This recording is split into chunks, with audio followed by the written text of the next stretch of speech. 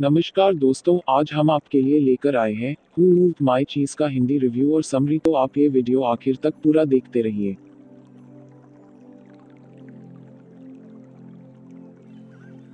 हमारे समाज में हर कोई सेटल होना चाहता है, चाहे वो जॉब करके बिज़नेस करके। शादी करके या अपना खुद का घर बना के हर इंसान की सेटलमेंट की डेफिनेशन अलग है, लेकिन लगभग सभी लोग सेटल होने के बाद थोड़ा रिलैक्स होते हैं, चीज़ों को कंसिडर करने लगते हैं, और चीज़ों में बदलाव पसंद नहीं करते, ऐसे ही कई साल बीत जाते हैं और अचानक समाज में एक बदलाव आता है और हम उस चेंज को एडेप्ट नहीं कर पाते जिसकी वजह से हमें ढेर सारा नुकसान उठाना पड़ता है फॉर एग्ज़ाम्पल एक समय मोबाइल की दुनिया पर राज करने वाली नोकिया फोटोग्राफी फ़ील्ड में राज करने वाली कोडेक बदलाव न करने की वजह से आज कहा है।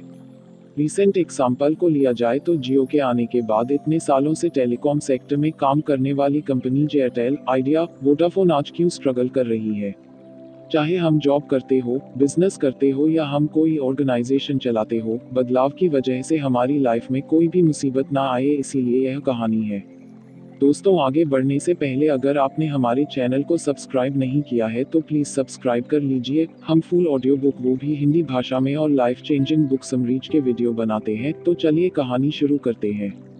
बहुत दूर एक भूल भुलैया में दो चूहे रहते थे, जिनका नाम था स्निफर और स्करी और इसी भूल भुलैया में दो चूहे जितने छोटे इंसान रहते थे, जिनका नाम था हेम और हॉ। ये चारों एक दूसरे से बहुत अलग थे, लेकिन इन सब में एक बात कॉमन थी, इन चारों को चीज़ बहुत पसंद था और जीने के लिए सबसे ज़रूरी भी था।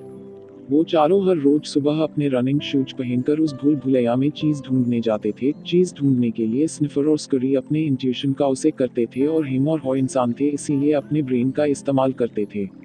चीज़ ढूंढते ढूंढते एक दिन वो चारों एक जगह पर पहुँचे जिसका नाम था चीज़ स्टेशन सी। वहाँ पर अलग अलग टाइप का बहुत सारा चीज़ था, इतना कि वो उस चीज़ को ज़िंदगी भर खा सकते थे, इस चीज़ को देखकर हिम और हॉ खुशी से झूमने लगे।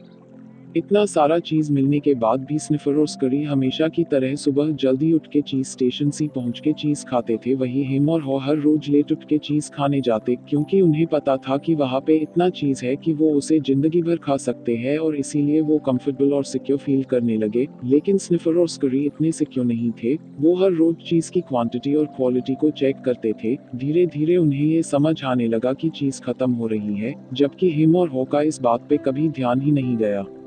एक दिन जब स्निफर और स्करी सुबह सुबह चीज़ स्टेशन सी पहुँचे तो उन्होंने देखा कि सारी चीज़ खत्म हो गई है। ये देखकर उन्हें ज़्यादा शौक नहीं लगा क्योंकि कि वो पहले ही एक्सपेक्ट कर रहे थे कि ऐसा हो सकता है। उन्होंने ज़्यादा टाइम सोचने में नहीं गवाया और दूसरी चीज़ ढूँढने के लिए वो बाहर पड़े। थोड़ी देर बाद जब हेम और हॉट चीज़ स्टेशन पहुँचे तो खत्म हुए चीज़ को देखकर वो बौखला गए। हेम गुस्से से ज़ोर ज़ोर से चिल्लाने लगा, मेरा चीज़ किसने लिया? मूव माई चीज़ उन्हें कुछ समझ नहीं आ रहा था कि अब क्या करे। उनके सारे प्लान उस चीज़ के वहाँ होने के ऊपर ही डिपेंड थे। थोड़ा संभालने के बाद होने हेम से कहा कि क्यों ना हम बाहर जाकर नई चीज़ ढूंढे। तब हेम ने हॉ से कहा, बिल्कुल नहीं, मैं जल्दी ही पहले जैसा सब कुछ करूँगा।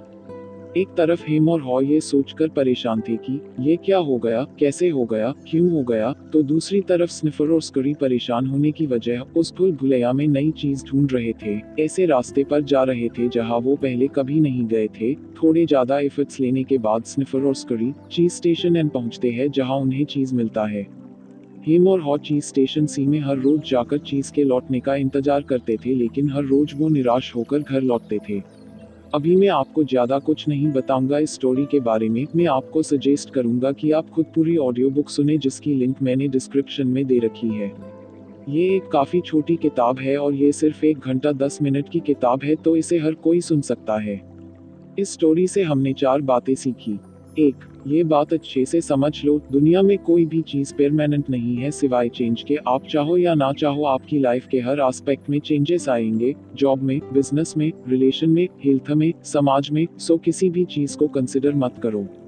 दो, पहले से चेंजेस के लिए तैयार रहो।